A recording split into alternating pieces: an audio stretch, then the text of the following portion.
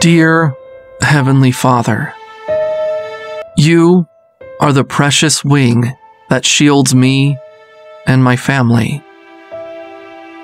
Heavenly Father, as I go about my day, I pray you to watch over me. Fortify and cover me with your precious blood, because within your blood there is protection.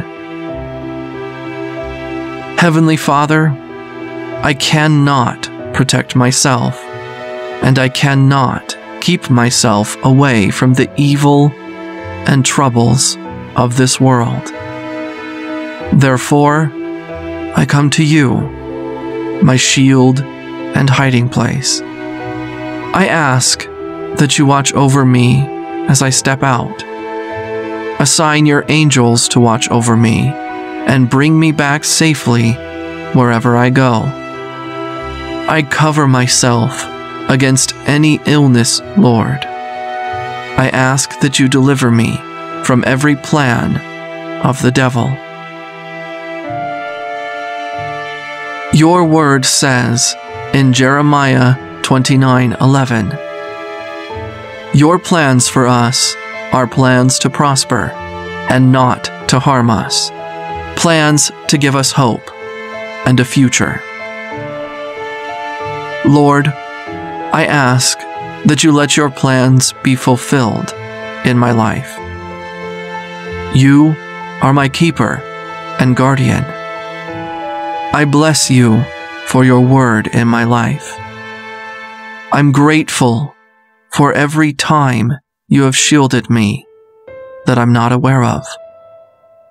Receive your glory, Lord. I put my trust in you. Help me to stand firm against temptations that try to shake my faith in you. You are my King. Help me to see every challenge through your eyes.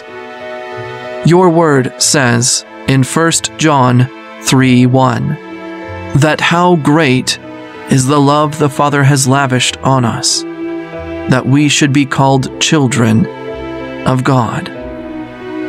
Amen. Gracious Father, I want to be counted as your child. Help me to understand the extent of your love for me, because your love is so pure and forgiving. Teach me to share it with others and even my enemies. Watch over my emotional and physical needs Give me the strength in the presence of danger. Through your mercies, help me overcome every challenge in my life.